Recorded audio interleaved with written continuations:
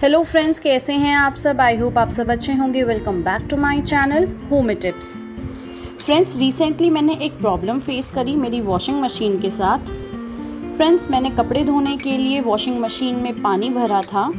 And friends उसके बाद उसे ड्रेन करने के लिए जब मैंने ड्रेन किया तो वो प्रॉपरली ड्रेन नहीं हुआ फ्रेंड्स जिस प्रेशर से हमारा ड्रेन काम करता है, उस प्रेशर से उसने काम नहीं किया, बिल्कुल ज़रा ज़रा सा पानी उसमें से निकल रहा था, आप देख सकते हैं. फ्रेंड्स इस पानी को निकालने में मुझे आधा घंटा लग गया, क्योंकि ये अपने आप निकल ही नहीं पा रहा था. बहुत धीरे धीरे ये आधे घंटे में जाकर निकला.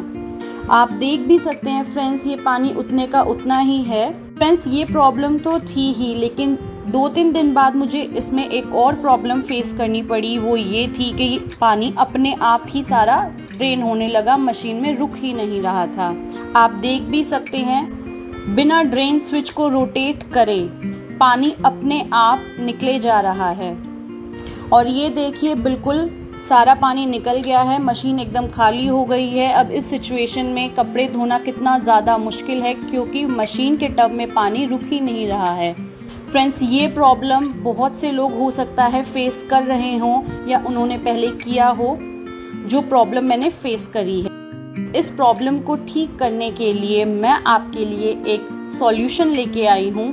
मैंने अपनी वॉशिंग मशीन को खुद ही घर पर ठीक किया है, क्योंकि जब मैंने मकैनिक से कांटेक्ट किया तो उसने बहुत ही ज़्यादा हाई रेट मांगे which is around one thousand friends ये तो उसके विजिटिंग चार्जेस थे और उसके बाद वो मशीन खोल कर देखता या उसमें जो भी चीज़ करता या पार्ट्स वगैरह रिप्लेस करता, उसके उसने अलग पैसे मांगे। इसलिए मेरे फादर ने इसे घर पर ही खुद रिपेयर कर लिया। फ्रेंड्स मैं ये वीडियो आप सबके लिए रिकॉर्ड कर रही हूँ ताकि आप लोगों की भी हेल्प हो सके और आप स्टेप बाय स्टेप देख सकें। अगर आप ये प्रॉब्लम फेस कर रहे हैं तो आपको कैसे वॉशिंग मशीन को ठीक करना है। तो फ्रेंड्स चलिए मैं आपके साथ भी शेयर करती हूँ, हमने कैसे अपनी वॉशिंग मशीन की इस प्रॉब्लम को सॉल्व किया। कैसे हमने जो इसमें प्रॉब्लम थी कि पानी नहीं रुक रहा है, उसको कैसे ठीक किया। चलिए फ्रेंड्स देखते हैं। लेकिन उससे पहले फ्रेंड्स अगर आपने मेरा चैनल सब्सक्राइब नहीं किया है तो इसे सब्सक्राइब कर लीजिए, मेरी वीडियो को लाइक कीजिए शेयर कीजिए और मेरी वीडियो को एंड तक देखिएगा। ये आपके लिए बहुत ही ज़्यादा हेल्पफुल है। चलिए फ्रेंड्स अब हम अपनी वॉशिंग मशीन को खोल के देखते हैं। हो सकता है इस सिक्का फंस गया हो या फिर गंदगी फंस गई हो, जिस वजह से हो सकता है इसकी जो ड्रेन करने की पाइप है, वो रुक गई हो। फ्रेंड्स इसके अंदर चार पेज हैं। ये चारों ही आपको खोलने हैं। हमारे पास LG की मशीन है। फ्रेंड्स ये मैंने इसका पीछे का पैनल निकाल दिया है। फ्रेंड्स ये जो आप देख रहे हैं, ये इसका ड्रेन का है। अगर हम इसे ऊपर करते हैं तो ड्रेन हो जाता है और अगर हम इसे नीचे करते हैं तो ड्रेन होना बंद हो जाता है। तो फ्रेंड्स सबसे पहले हम इसे हटाएँगे। फ्रेंड्स जो ये आपको स्क्रीन पर दिख रहा है, हमें इसे सबसे पहले खोलना है। कभी कभार ये खुलने में मुश्किल करता है तो हम इसे पेचकस की मदद से भी खोल सकते हैं। वैसे तो हमारी मशीन नहीं है, इसीलिए हमारा इजीली खुल गया। आप देख सकते हैं इसके अंदर कितनी ज़्यादा गंदगी है। फंसा हुआ था, ये हमने निकाल लिया। आप देख सकते हैं इसका अंदर का ये पार्ट भी बहुत ज़्यादा गंदा है। इसका सबसे पहले हमने ये स्प्रिंग अलग कर लिया है और चलिए अब इस पार्ट को हम क्लीन कर लेते हैं। इसको भी हम अच्छे से वॉश कर लेते हैं।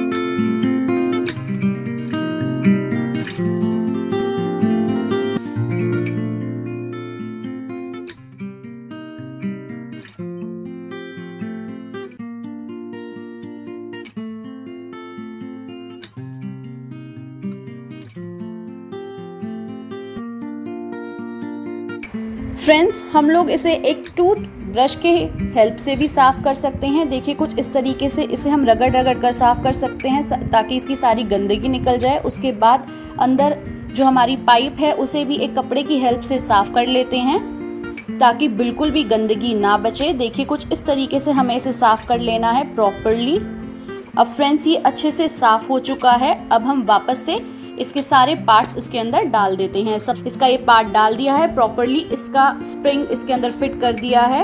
इसको थोड़ा सा लगाना मुश्किल है क्योंकि इसमें स्प्रिंग लगा हुआ है तो अच्छे तरीके से इसे फिट कर कर रोटेट करना है प्रॉपरली अब चलिए दोबारा ड्रेन वाले पार्ट को वापस से उसकी जगह पर लगा देते हैं ताकि हमारा ड्रेन सिस्टम अच्छे से काम कर सके। और आपने देखा भी कि कितनी ज़्यादा गंदगी हमारी वॉशिंग मशीन से निकली और उसमें से कपड़ा भी निकला। फ्रेंड्स हो सकता है, आप लोग भी ये प्रॉब्लम फेस करें। ये सिचुएशन किसी के साथ भी हो सकती है। और फ्रेंड्स इस चीज़ को ठीक करना बिल्कुल ही इजी है। जैसे कि आप देख सकते हैं कितनी आसानी से हमने अपनी इस प्रॉब्लम को ठीक कर लिया। नेक्स्ट फ्रेंड्स चलिए अब दोबारा से पैनल को वापस लगा देते हैं। और जो इसके चार पेज हमने निकाले थे, उन्हें अच्छे से कस देते हैं। फ्रेंड्स, बिना मैकेनिक की हेल्प के देखिए हमने किस तरीके से अपनी प्रॉब्लम को सॉल्व कर लिया है। अगर आप भी ये प्रॉब्लम फेस कर रहे हैं तो आप भी इसे इसी तरीके से सॉल्व कर सकते हैं। इसके लिए आपको पैसे वेस्ट करने की ज़रूरत नहीं है। ये बहुत ही ज़्यादा सिंपल तरीका है। अगर आपके साथ भी कभी ये प्रॉब्लम हो जाए तो आप इसे ज़रूर फॉलो करें। ट्रस्ट मी, हमारी ये प्रॉब्लम सिर्फ़ पाँच मिनट में सॉल्व हो गई। वो भी without mechanic help. So finally friends मेरी वॉशिंग मशीन की प्रॉब्लम एकदम से ठीक हो गई है। जो इसमें पहले प्रॉब्लम थी कि इसमें पानी नहीं रुक रहा था, अब वो पानी रुक भी रहा है और प्रॉपरली वो ड्रेन भी हो रहा है।